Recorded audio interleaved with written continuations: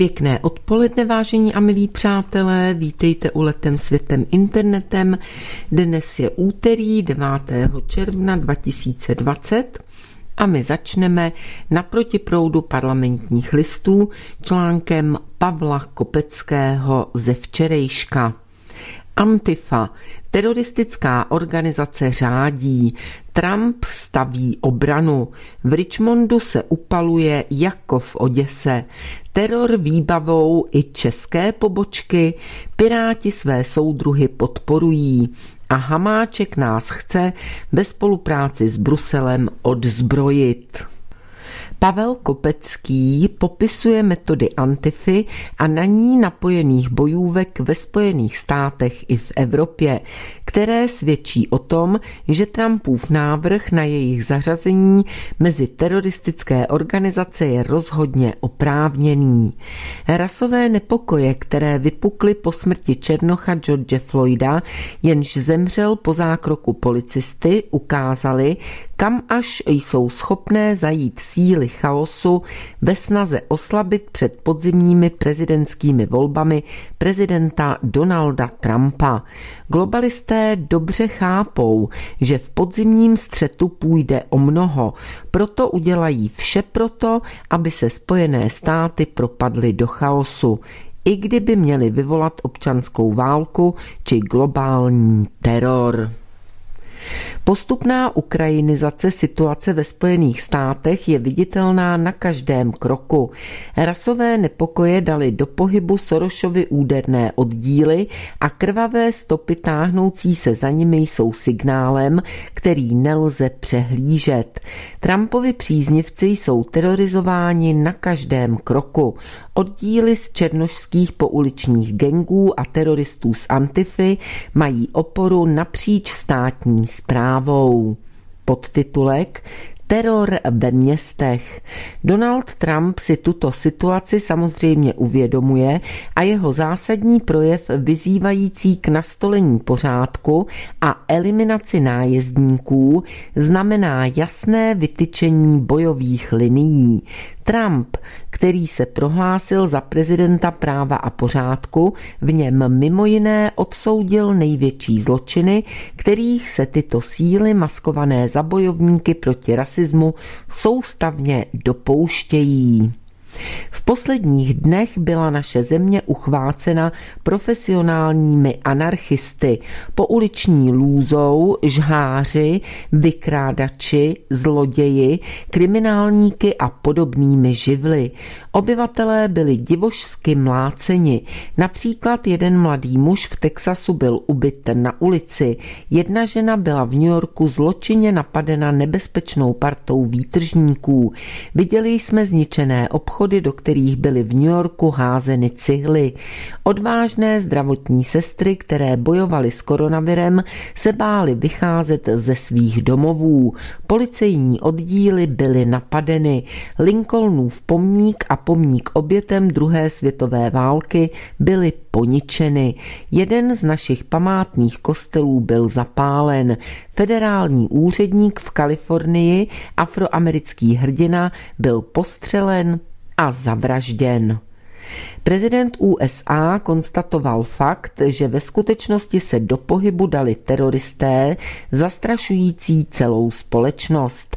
Tato metoda byla úspěšně aplikována stejnými hráči před šesti lety na Ukrajině Obamovou vládou, což je dnešní Deep State, který je architektem dnešního řádění v Americe.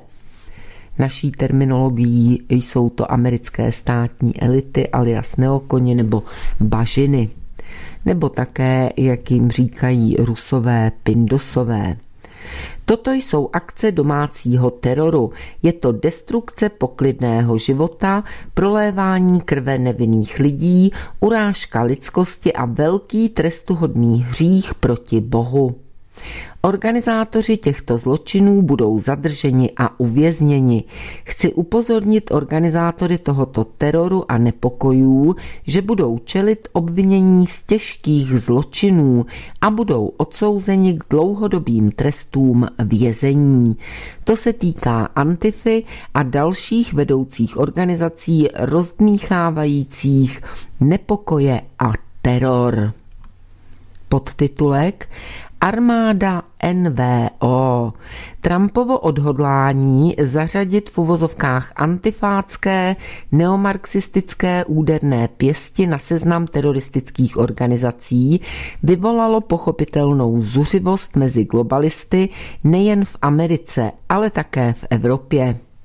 Tady zase řekla bych, že zejména se jedná o ty, kteří slouží americkým státním elitám a naopak globální zákulisí nebo globální prediktor či globalisté zřejmě tento krok Donalda Trumpa schvalují, protože potřebují, aby se situace uklidnila. To je jenom pro upřesnění a jedeme dál tak jako by se těžko podařilo zastrašit ukrajinskou společnost bez paramilitárních oddílů pravého sektoru a na něj navázaných neonacistických ozbrojených skupin, prapory Azov, Dněpr a tak dále, nedošlo by bez antifik pogromům, které dnes otřásají spojenými státy.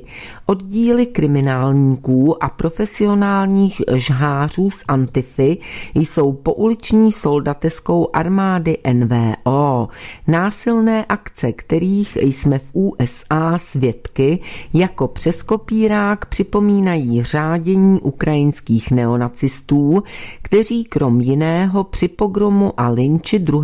května 2014 v Oděse upálili téměř stovku odpůrců státního převratu. V domě odborů, který neonacisté ve službách pučistů zapálili, uvěznili obránce ukrajinské demokracie a znemožnili pak i přístup přijíždějícím hasičům. Podobně hrůzostrašnou scénu jsme mohli sledovat v těchto dnech v Richmondu ve Virginii, kde oddíly Antifa a Black Lives Matter zapálili dům s více rodinami a s dětmi uvnitř a poté zablokovali přístup hasičům, kteří se chtěli dostat k záchraně dětí.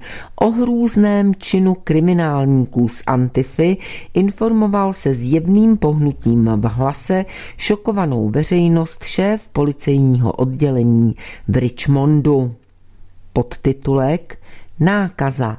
Mezitím se protirasistické v uvozovkách protirasistické nepokoje za pomoci sociálních sítí a různých navázaných aktivistických skupin plynule přelévají do Evropy, o čemž svědčí i akce, které proběhly v evropských velkoměstech, včetně Prahy.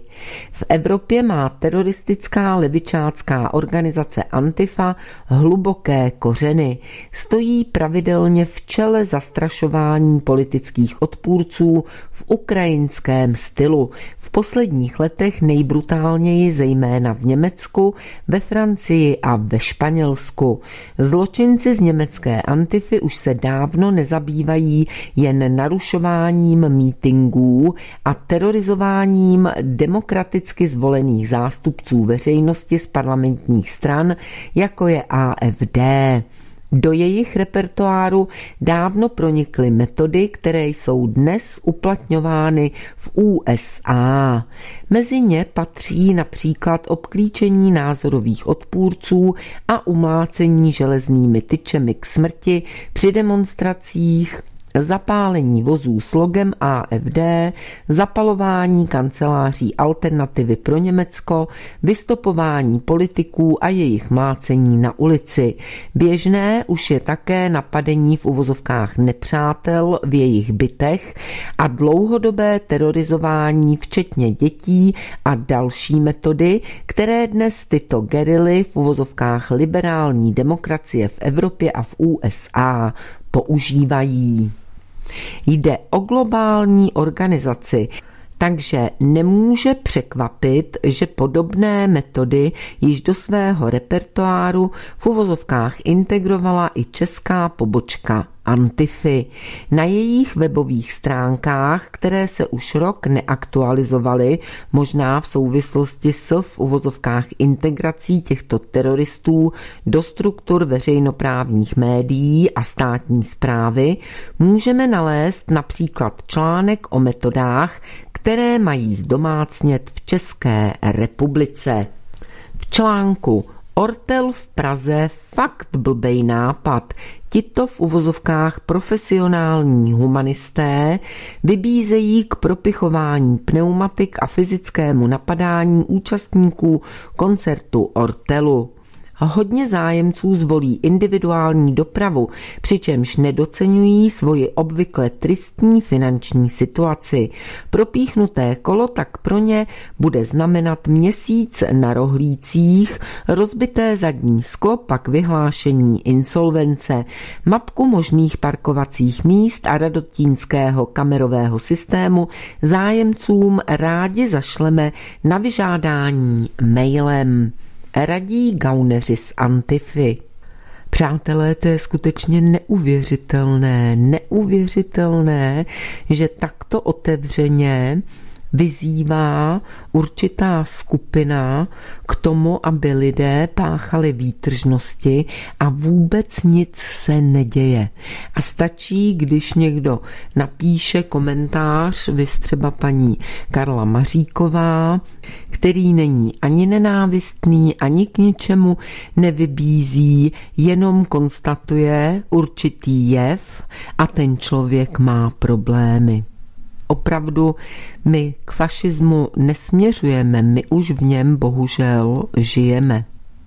Pokračujeme v článku. U toho se však tito v uvozovkách humanisté nezastaví.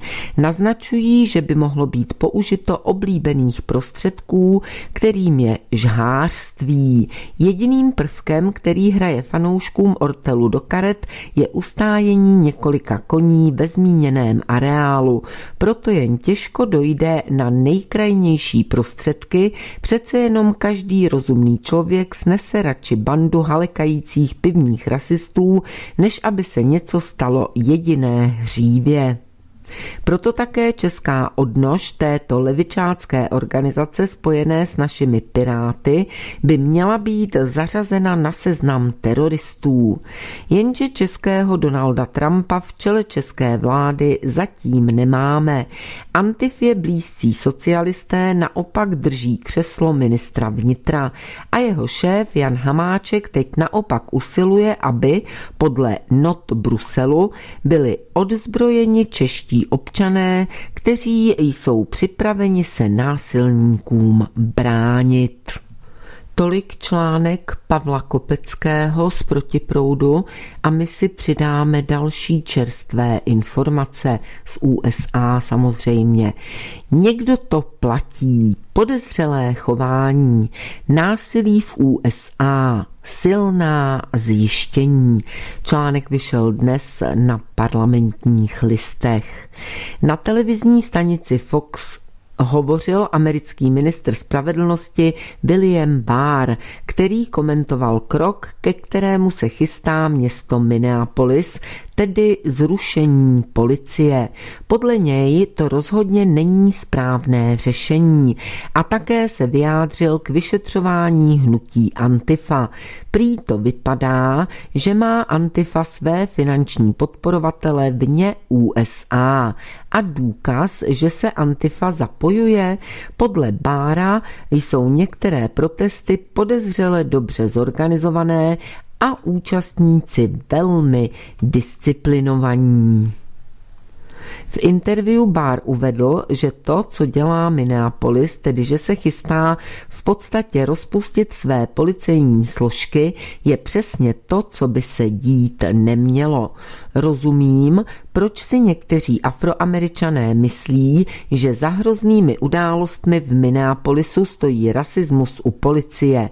Řekl Bár, ale hned dodal, že za posledních 50 až 60 let došlo k mnoha reformám a vedení policie prý chápe, že je potřeba změna prohlásil, že dávat vinu policii za to, co provedli konkrétní policisté, je špatně a demonizace policie je nebezpečná. Dále řekl, že stejně jako černoši v USA nechtějí, aby je všichni házeli do jednoho pytle kvůli jejich barvě pleti, nebo demonstranti nechtějí, aby je dávali dohromady srabovači jen proto, že jsou v ulicích, tak i policisté nechtějí být peskováni za to, co udělal jeden z nich. V každé organizaci dochází k chybám a musíme si dávat velký pozor, než řekneme, že celá organizace je skažená, dodal. Moderátor se pak zeptal, jak by to dopadlo, kdyby nějaké větší město, jako například Chicago, rozpustilo svůj policejní sbor. Bar prohlásil, že pak by došlo k nárůstu v uvozovkách lidové spravedlnosti a nastal by chaos a počet úmrtí by vzrostl. Když se podíváme na čísla, jsou to policisté, kteří v uvozovkách utlačují černošské komunity. Mnohem víc škod a mnohem víc obětí, mnohem víc strachu mají na svědomí zločinci. V Chicagu je to 60 až 70 postřelených za jeden víkend, uvedl a dodal, že bez policie by to bylo ještě více. Moderátor pak informoval, že v souvislosti s protesty a rabováním bylo sice sepsáno hodně hlášení, ale pokud ví, tak v žádném z nich nebylo zmíněno hnutí Antifa, které Donald Trump označil za instigátora násilností. Instigátor to je někdo, kdo něco započne, něco iniciuje. Nové slovo, tedy alespoň já jsem ho dosud neznala, ale podívala jsem se do slovníku, ani v češtině jsem to nenašla, ale v angličtině ano s vysvětlením.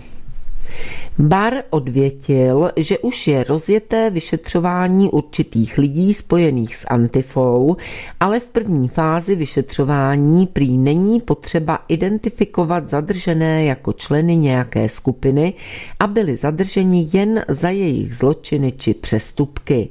O Antifě prohlásil, že má velice volný systém organizace a jedinečný systém komunikace, ale v každé situaci se najde někdo, kdo může být považován za vůdce. Moderátor se ptal, zda Antifu někdo finančně podporuje a Bar uvedl, že to tak vypadá a budou se tím zabývat. Při některých protestech bylo vše velice dobře zorganizované a demonstranti používali koordinované taktiky a tím se zabýváme. Za něčím stojí Antifa, za dalšími stojí skupiny, které se chovají jako Antifa. Jak jsem řekl, je to myšmaš extremistických skupin, které se snaží využít situace. Uvedl Bár. Mimochodem, vážení přátelé, tímto způsobem vyjde jasně a oficiálně najevo de facto technologie provádění barevných revolucí jako celku, ale vůbec i způsob práce při demonstracích, rozdmíchávání nepokojů a podobně. Myslím si, že na základě těch informací, které teď začínají vycházet najevo a které teď třeba, třeba i ozřejmil pan Bár, začne být lidem jasné, že demonstrace, pokud mají nějaký ohlas, takže jsou vždycky organizované, že něco jako spontánní hnutí lidí ve smyslu toho, že se lidé najednou sami zorganizují a něco se v těch lidech vzedme a jsou z toho potom nějaké akce déle trvající, například žluté vesty, takže něco takového je naprostý nesmysl, že je to nemyslitelné, že za těmi akcemi, které jsou jakýmkoliv způsobem v uvozovkách úspěšné, to znamená, že probíhají, že se o nich ví, že mají nějakou váhu, že o nich slyšet v médiích, že je tam vysoká nebo alespoň relativně vysoká účast lidí, takže vždycky zatím někdo stojí a že je to vždycky organizované. Doufám, že to lidé už začnou chápat, no a od takového pochopení je potom už jen krůček k tomu, aby se začali ptát, a kdo je tedy zatím a ký bono a podobně. To bych považovala za takové určité plus, byť jinak je situace samozřejmě velmi vážná, ale stále více informací se dostává na povrch a stále víc lidí, jak tedy doufám, o těch věcech přemýšlí a začíná jim být zřejmé, že tady něco nehraje. Jinak pokud se týká akcí těch amerických státních elit, tak v tuto chvíli by to mohlo vypadat, že jsou de facto úspěšní, že se jim podařilo umrtvit policii a další pořádkové síly. No a v tu chvíli už je to jenom kousek od toho, aby započal chaos, v němž násilnické skupiny se budou potýkat a bojovat s občany, kteří budou bránit pořádek.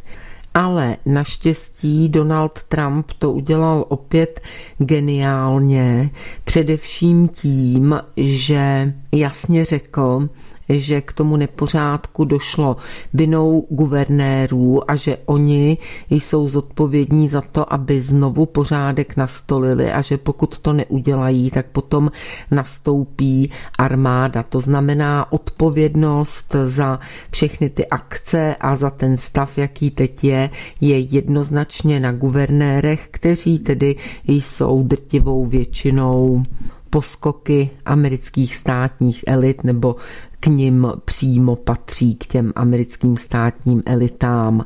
Takže oni teď mají na vybranou, buď znovu nastolí pořádek, anebo ten pořádek nastolí armáda a potom budou s největší pravděpodobností ti, kteří neuposlechli té výzvy k nastolení pořádku, tak budou zatčeni. To znamená, ta situace je dost bezvýchodná pro ty, kteří ty konflikty spunktovali, kteří je vyprovokovali tedy pro americké státní elity, respektive jejich pohůnky. Buď to si to, co sami navařili, sami sní, anebo půjdou do vězení a to na hodně dlouho, s největší pravděpodobností. Hodně tomu napomáhá i to, že Donald Trump již před několika dny označil Antifu za teroristickou organizaci a to má nebo mělo by mít přímé důsledky, protože by se měly probudit složky jako například FBI, která by to měla začít vyšetřovat a po členech Antify jít. Přečteme si ještě z parlamentních listů, jak tu situaci vidí člověk, který nějakou dobu v USA žil a tudíž to tam poměrně dobře zná. A kdo tam celou dobu vládne?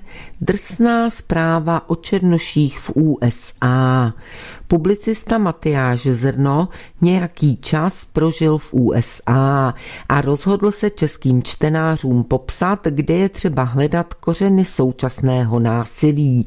Popsal, jak se zpravidla chovají američtí policisté, jak se chovají lidé žijící v getech velkých měst. Ku podivu to jsou tam města, kde demokraté nabízejí útočiště ilegálním imigrantům s kriminální minulostí. Jsou to města, kde demokraté spoléhají na černošské hlasy.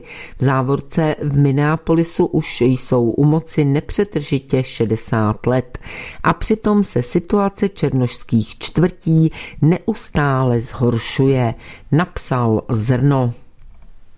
Každý, kdo by rád vyrazil na cesty do USA, měl by podle Matyáše Zrna vědět, že tamní policisté se chovají velmi přísně.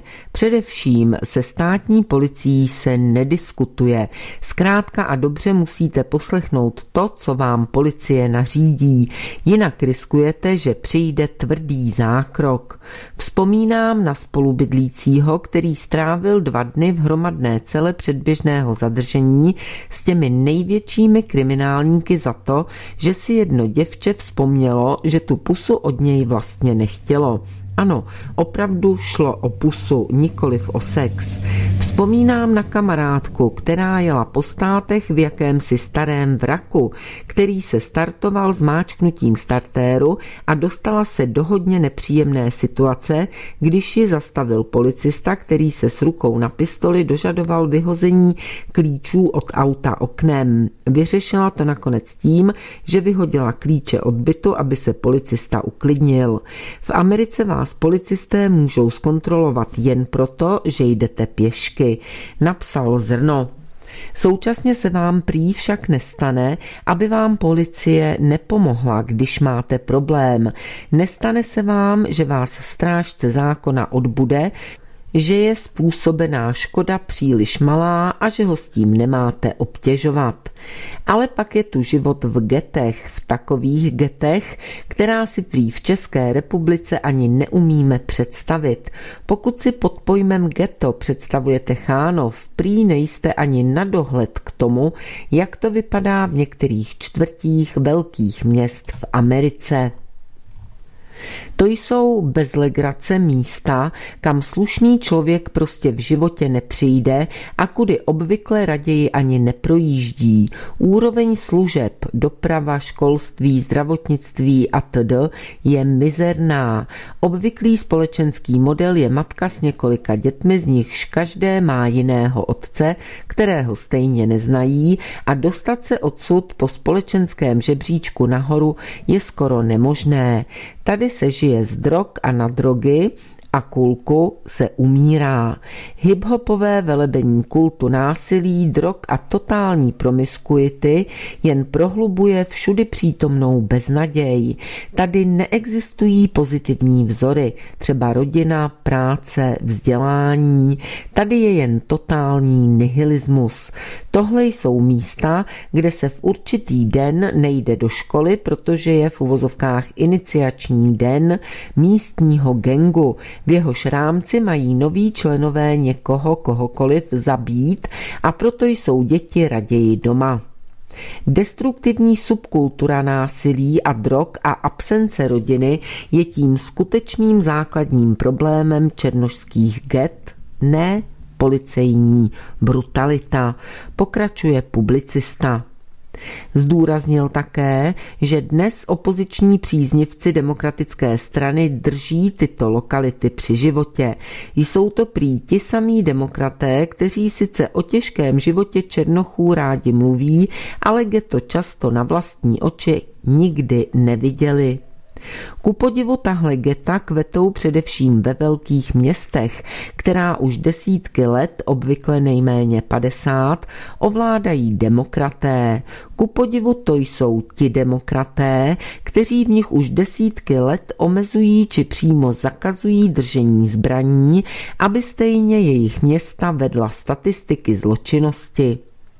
Ku podivu to jsou ta města, kde demokraté nabízejí útočiště ilegálním imigrantům s kriminální minulostí. Jsou to města, kde demokraté spoléhají na černožské hlasy, V Minneapolisu už jsou u moci nepřetržitě 60 let a přitom se situace černošských čtvrtí neustále zhoršuje. Tady nenabízejí černochům pozitivní vzory, ale neustále jim hladí ego tím, že za svou situaci nemohou oni, ale někdo jiný, ať už nyní nebo v minulosti popsal publicista stav věci. A tady někde se v protestujících bere chuť rabovat obchody. Ideologie dědičné bílé viny za otroctví a diskriminaci, vymyšlená bílými liberály, dává primitivním násilníkům a lupičům opojný pocit, že to, co dělají, je vlastně správné a spravedlivé. Nositelka Pulitzerovy ceny Nicole Hanahová Jonesová z New York Times napsala, že ničení majetku není násilím v závorce, asi jakási obdoba boje proti fetišizaci soukromého vlastnictví našimi klinikáři.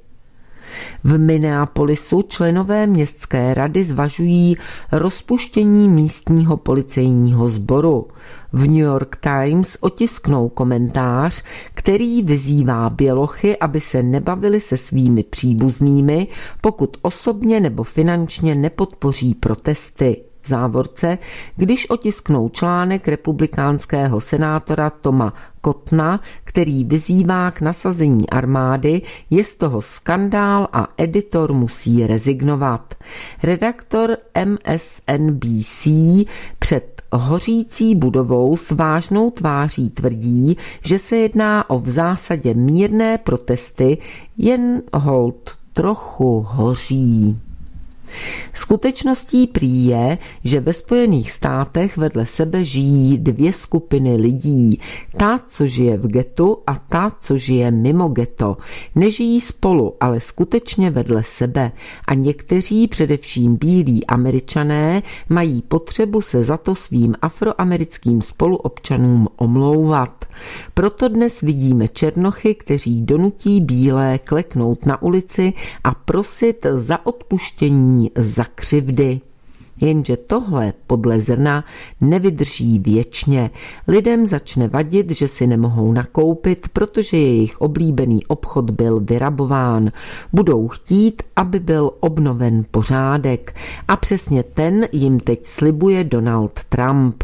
Na rozdíl od jeho pravděpodobného demokratického vyzivatele Joea Bidena, který se jednoznačně postavil za demonstranty.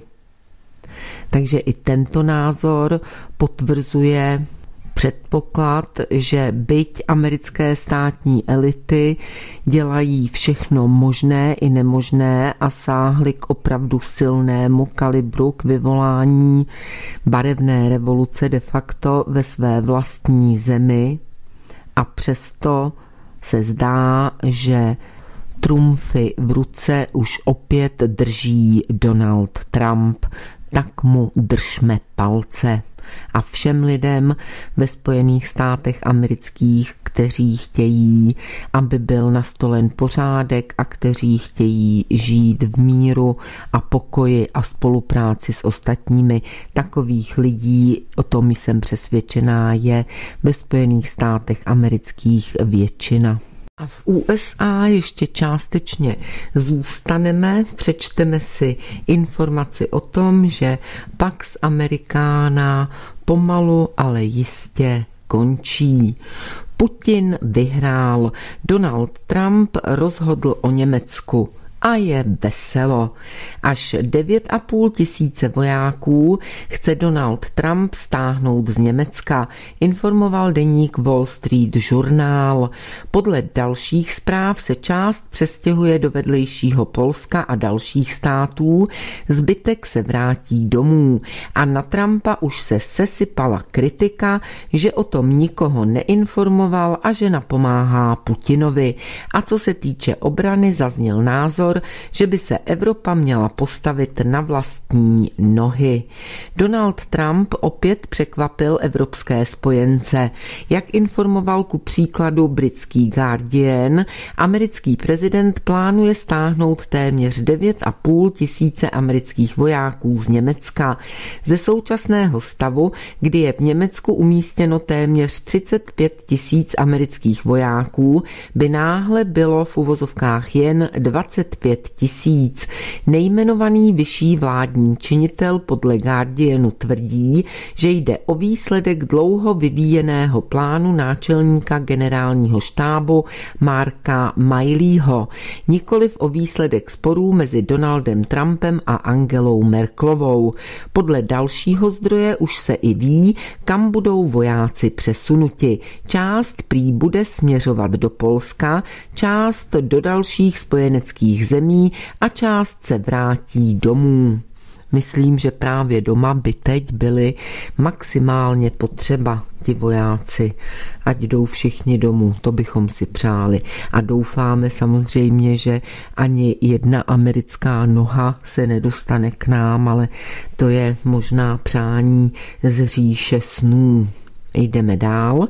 Není žádným tajemstvím, že vztahy mezi Spojenými státy a Německem nejsou z nejlepších. Trump kritizoval německou vládu jednak za to, že na obranu nedává dostatek prostředků a také, že je rukojmím Ruska, od kterého odebírá zdroje energie. Bývalý americký velvyslanec také kritizoval koaliční partnery Merklové, kteří se zasazovali o jaderné odzbrojení.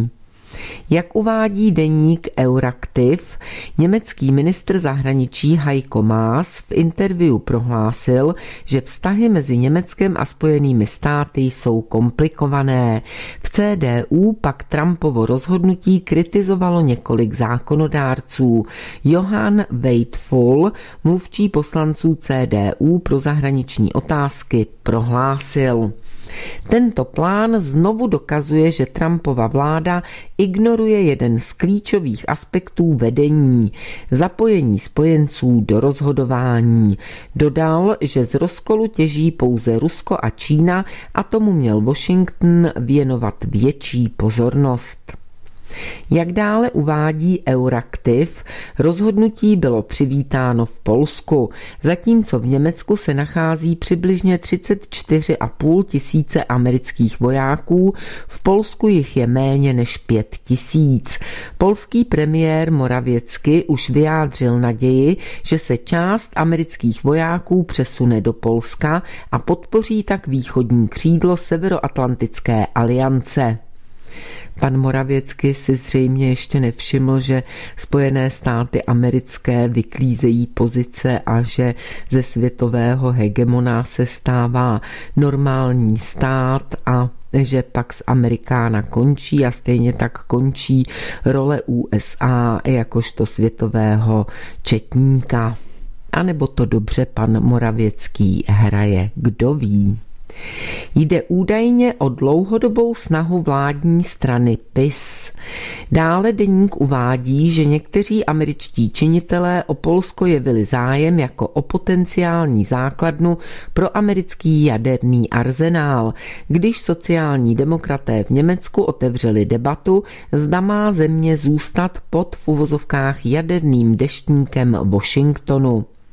Georgette Mosbacherová, velvyslankyně v Polsku, naznačila, že pokud by chtělo Německo oslabit NATO snížením svého v uvozovkách jaderného potenciálu, pak by ho Polsko, které podle ní rozumí hrozbám pro východní křídlo NATO a platí svůj spravedlivý podíl, mohlo nahradit. Trumpa už za tento plán skritizoval europoslanec Guy Verhofstadt. Velká výhra pro Putina. Trumpovo iracionální chování dokazuje, že Evropa potřebuje evropskou armádu jako evropský pilíř NATO, prohlásil. Kritika k plánu zazněla i od Bernta Riegera, novináře z Deutsche Welle. Ten tvrdí, že z pohledu vojenské strategie nedává Trumpův krok žádný smysl, ale americký prezident si s ním chce pojistit vítězství ve volbách. Píše, že Trump konečně splnil svou hrozbu Německu za to, že jeho výdaje na obranu nedosahují 2% a nesplňuje tak podmínky stanovené Severoatlantickou aliancí. Podle Rígra jde o personál, který je sice důležitou součástí struktur NATO, ale nejde o vojáky, kteří by velkou měrou přispívali k obrany schopnosti Německa a rozhodnutím poslat některé z nich do Polska a zbytek domů údajně oslabuje svou vlastní armádu. Je to čistě politické rozhodnutí, které má vyvolat tlak na Německo, spojence Washingtonu, říká.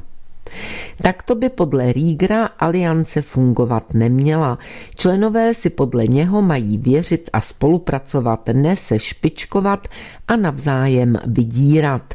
Trump se ani neobtěžoval oficiálně informovat německou vládu o svém rozhodnutí vojáky stáhnout. Stěžuje si novinář.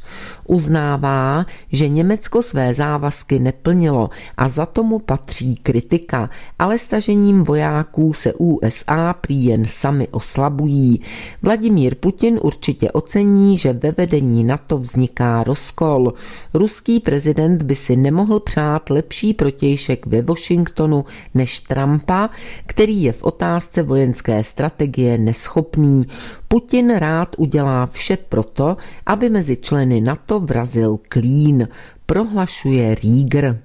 Dodává, že radost Polska je předčasná, protože jeho v uvozovkách odměna za věrnost Trumpovu režimu přichází na úkor jiných členů NATO a navíc nejde o bojové jednotky. Dodává, že přesun vojáků dále na východ pravděpodobně bude porušením smlouvy mezi NATO a Ruskem z roku 1997 a bude tak další provokací vůči Kremlu.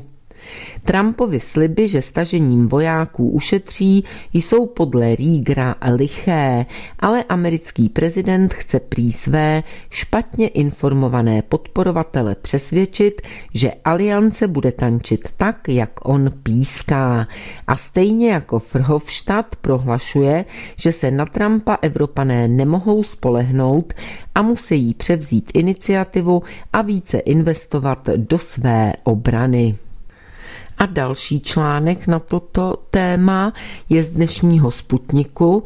Atlantická rada chce, aby USA přesunuli část svého vojenského kontingentu z Německa do Bulharska.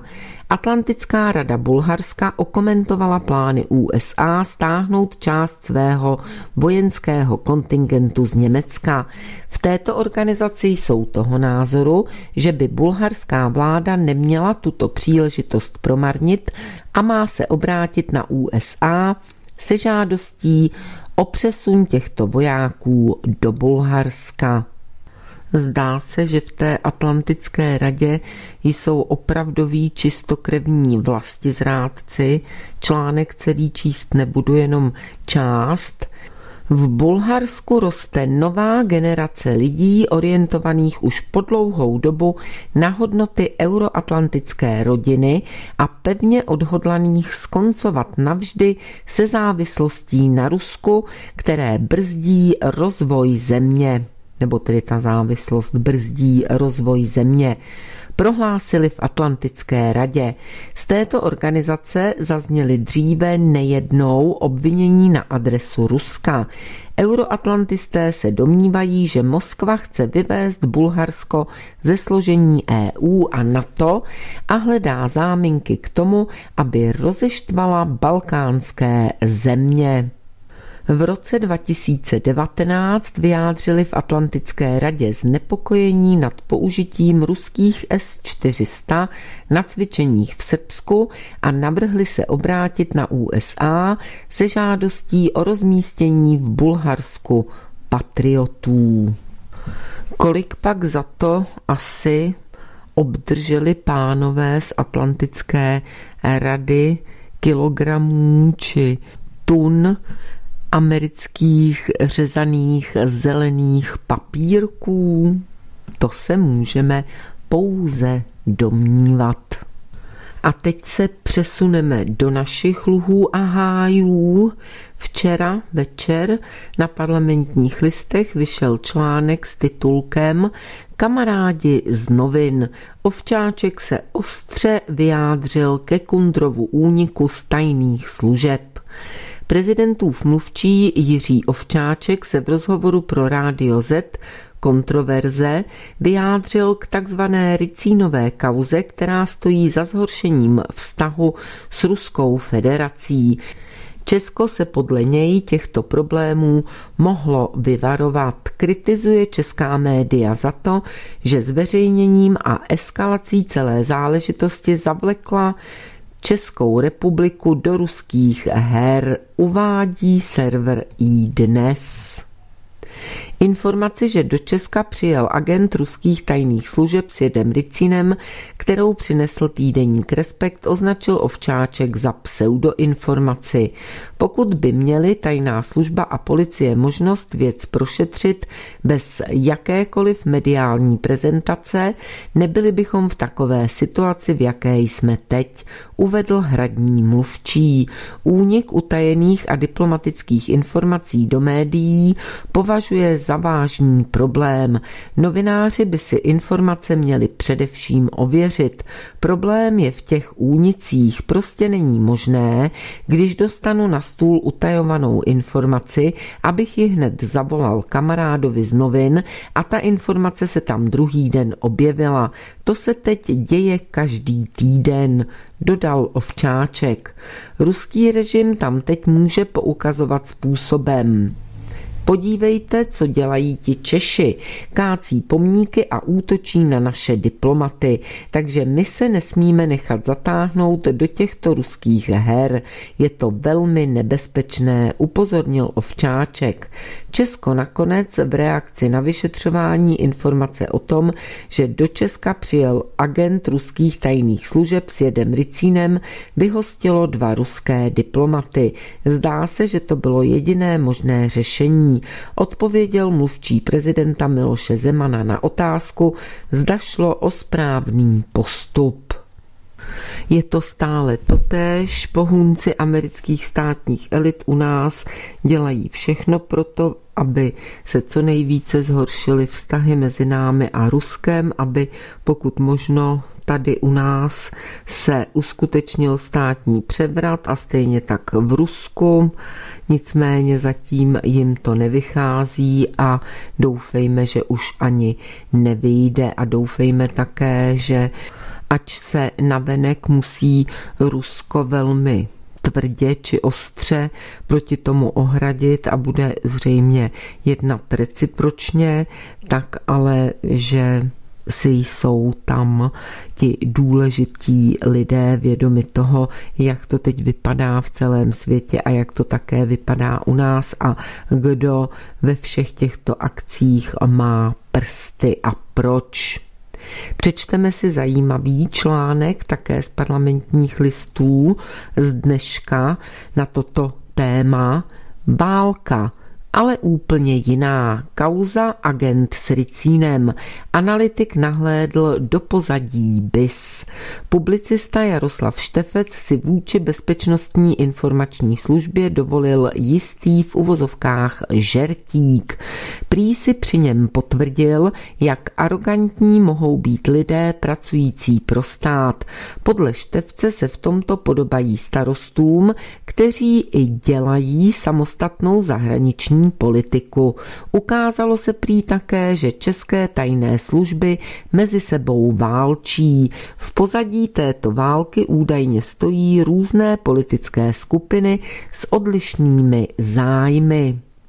Analytika Jaroslava Števce, bývalého ředitele Národního úřadu pro vyzbrojování, prý zaujal inzerát na serveru práce.cz, v němž Bezpečnostní informační služba hledala zájemce o práci analytika obchodů s vojenským materiálem. Tak se zkusmo přihlásil.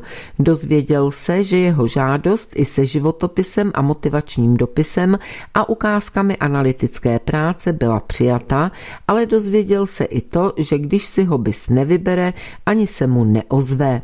No, neozvali se jak jinak. Samozřejmě jsem se nedivil, nejen proto, že znám postoj k mé osobě, jak v uvozovkách bizonů, tak v uvozovkách kluků, kteří je za naše peníze pasou na žírných pastvinách státní služby. A vím, že arogance úřadů státní zprávy u nás dosahuje výšin téměř nadpozemských. Přitom ani naše malá firma si nedovolí uchazeči o práci nezdělit osobně nebo dopisem, že o něj nemá zájem. Proč ale o tomto malém žertíku z mé strany vlastně píšu? Ne kvůli arrogantnímu chování státních úředníků, to je ostatně všeobecně známé, a abych neurazil, zdatně jim konkurují i starostové některých obcí rozhodujících o zahraniční politice naší země. A už vůbec ne kvůli tomu, že mě snad odmítli. Rozepsal se Štefec na sociální síti Facebook. Za podstatné považuje to, že se takový inzerát vůbec objevil. Svědčí to podle jeho názoru o tom, že si politické skupiny přejí obsadit důležité pozice, aby později měli prostor na odklánění peněz, které se rozdělují či budou rozdělovat v rámci větších či menších zakázek. Válka, která ke škodě občanů České republiky aktuálně probíhá mezi spravodajskými službami, není nějakou válkou policajtů a už vůbec ne hybridní válkou řízenou Ruskem nebo Čínou. Je to válka politických skupin a lidí v jejich pozadí, ovliv na budoucí vojenské nákupy a hlavně na směry v uvozovkách odklánění příslušného bakšiše z obřího balíku peněz, které hodlá vláda bez ohledu na nadcházející ekonomickou krizi ministerstvu obrany přiklepnout. O nějakou obrany schopnost ČR přitom také rozhodně nejde, vyjádřil své mínění Štefec. V rámci plánované modernizace armády, kdy je podle Števce Česko ochotně ochotné utrácet i za 20 let staré vrtulníky, se prý hledají cesty, jak se takzvaně napakovat. A Štefec pochybuje, že tomu BIS dokáže zabránit. BIS je viditelně nesmírně vytížená. Stará se o to, co se má vyučovat na českých školách, identifikuje v uvozovkách nevhodné poslance či nepohodlné organizace, stíhá agenty z kufříky plnými ricínu, případně odhaluje skryté války v ruském kulturním středisku. K tomu ještě kuje pikle proti premiérovi i prezidentovi ČR hlídá asi pro evropské hodnoty dezinformační weby a stíhá i v uvozovkách dohlížení rozprodeje majetku státních hmotných rezerv. Do správných rukou, jak jinak. Je od ní jistě chválihodné, že si obětavě přibírá k tomu obřímu balíku povinností i dohled nad vojenskými nákupy. Rád bych napsal ve prospěch občanů ČR, ale to by tím dohlížitelem nesměli být čučkaři, zakončil Štefec. Ta situace s těmi nákupy je skutečně tristní, to nemá ani cenu komentovat a obzvláště ne vzhledem k současné situaci. Včera večer na Sputniku vyšel tento článek. Světová banka předpověděla rekordní pád globální ekonomiky. Světová banka aktualizovala prognózu ohledně globální ekonomiky. V tomto roce experti očekávají její pokles. Informuje se o tom ve zprávě perspektivy světové ekonomiky za červen roku 2020.